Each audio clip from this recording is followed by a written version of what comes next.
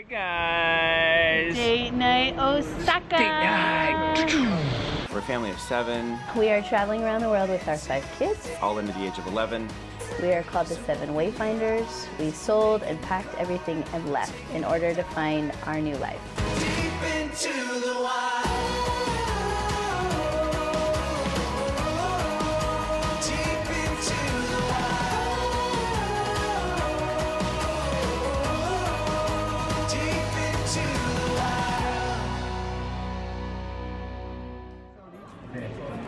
Thank you.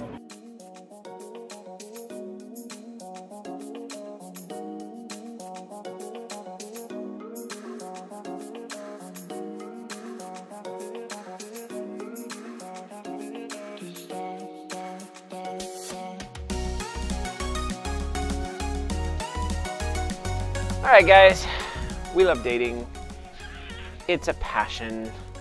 And so everywhere we go, we date. There wasn't like a ton to do for date nights in Osaka No. other than going down to the Shinsaibashi area, which we went to every single time, Yeah, by the Running Man.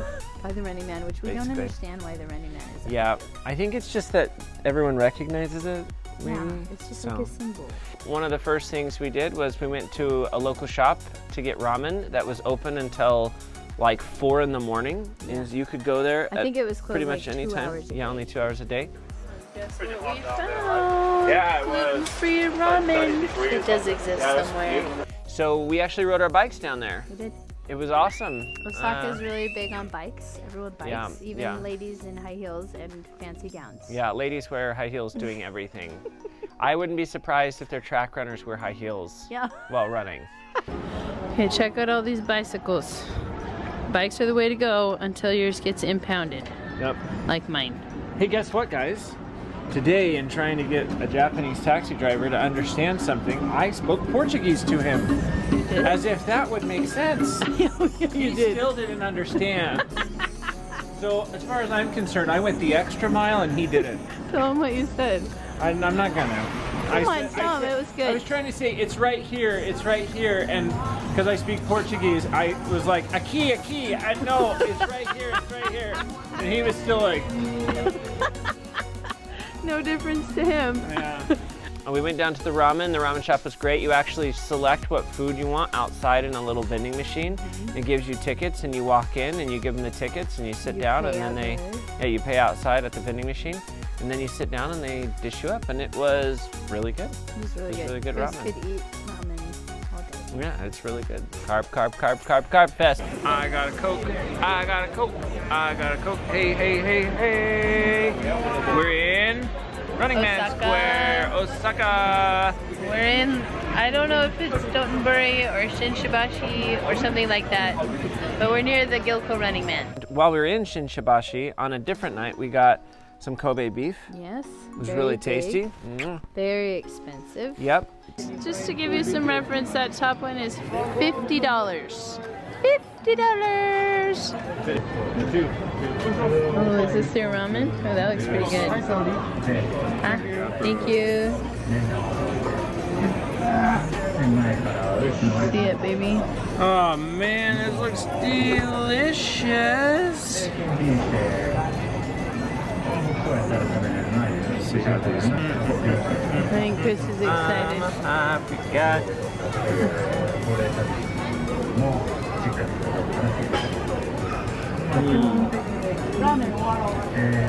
Oh my gosh. How's it on the ramen scale?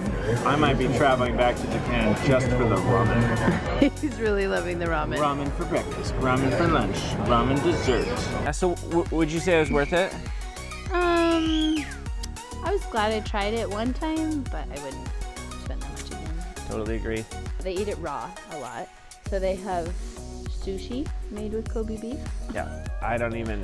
Where we didn't touch that. Ugh. And they have like tartar where it's like, you know, ground up with stuff. We didn't try that either. No. But there's really fun food stuff down there, and I really loved the huge. Uh, remember like the sign, the signs, like the huge like 3D models. It's so cool. Know, Osaka's good for walking.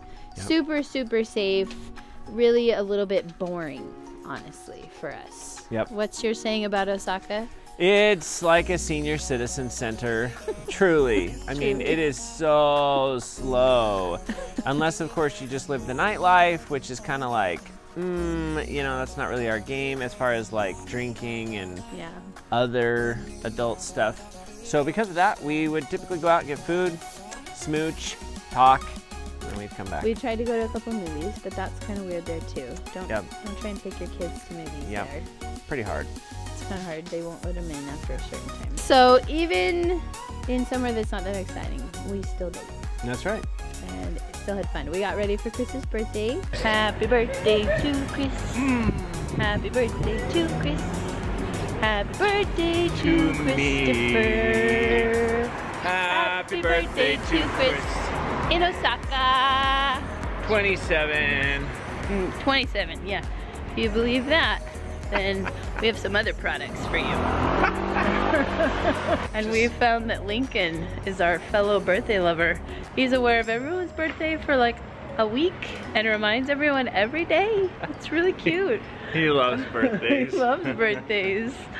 we went to Universal Studios. That's right. And I got to be Dumbledad. And I was first billed a mom, That's but then I changed it to Professor Mom Gonagle because I like her better. Professor Mom. Depends on the mood she's in at the time. It's oh, true. Oh no, it's Voldemort! Voldemort. She who shall not be named. So let's talk really quick because sometimes we get asked, how do you handle birthdays while you travel? And it is a little tricky, not gonna lie. You can't meet all the normal expectations of a birthday. Uh-uh. You had a birthday, say thank you. You basically made it. We can't really gift that much or at all because we can't really carry it. We have everything we already need, otherwise, we would already have bought it. So it's a little untraditional in that way. Sometimes we don't even know like where we're gonna eat that day or what. Like especially if we're traveling that day, like on Lincoln's birthday. Check out that video. I had no idea what we could even eat that night. So same thing with Grace's birthday in Vietnam. It was a little bit of a disappointment for me. we were at a hotel by the airport and all we could find was like a super traditional Vietnamese restaurant and I cried a little bit for my baby girl's second birthday. But She was she was emotionally compromised. I was, I was. Anything to do with Grace that isn't perfect is emotionally compromised. That is true. I have to gift those non-material items. Yeah, Like, like I love you Yeah, like tech. and how awesome you are, not tank. I had my two purposes in life. One, to help with the children, Father the children. to help father the children, which was a very important and arduous task. and two, to choose the right tech. so we went to Universal Studios. They have an incredible Harry Potter world. It was so much fun. Yeah, and check out that video. even in Japanese, it was a blast. There was. It is hilarious to see how many people are excited about Harry Potter World. Yeah. So Anyway, happy dating to all of you. We're about to celebrate date, date, our date. 15 year anniversary. 15. and we attribute dating to a lot of our success. Ooh. and it's now time for you to go away. Bye.